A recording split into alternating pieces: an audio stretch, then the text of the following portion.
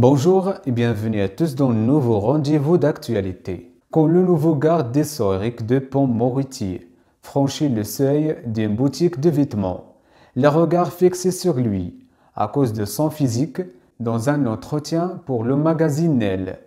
Eric Dupont-Moretti a accepté de répondre aux questions des journalistes concernant son apparence.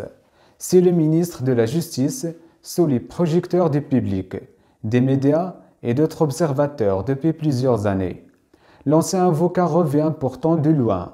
Son talent d'orateur et son esprit d'analyse, c'était pour plaire aux filles.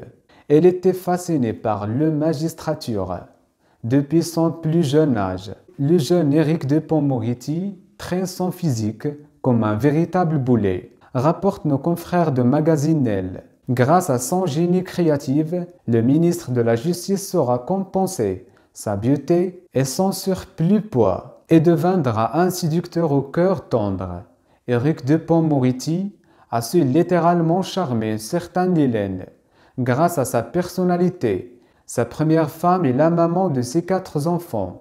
Le garde des Sceaux s'en souvient encore des années plus tard. Je l'ai trouvée une très belle femme. À la barre, je n'ai parlé que pour elle.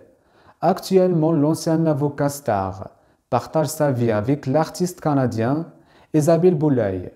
C'est la fin de ce rendez-vous. N'oubliez pas de réagir sur la section de commentaires et d'activer la cloche de notification. Merci, à très bientôt.